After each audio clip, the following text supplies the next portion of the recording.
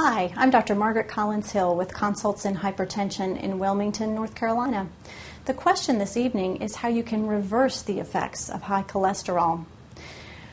We all know that high cholesterol, as well as diabetes, high blood pressure, cigarette smoking, and a number of other conditions, can lead to atherosclerosis.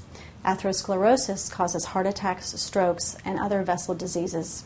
Once you've had a heart attack or stroke, you can't reverse the effects of that because you've scarred down tissue that used to function. However, that doesn't mean that it's too late to lower your risk factors for further trouble. Lowering cholesterol, stopping smoking, controlling diabetes and high blood pressure, losing weight, and seeking exercise will all reduce your risk of having further heart attacks, strokes, or vessel diseases later. So it's absolutely worthwhile.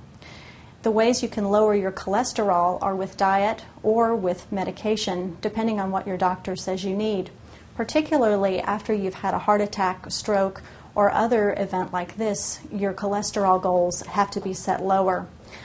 Although someone who has no other risk factors may be satisfied with a bad cholesterol or LDL of 160, after you've had a heart attack or stroke, it really needs to be down to 70. In general, people need medication to help them with this goal.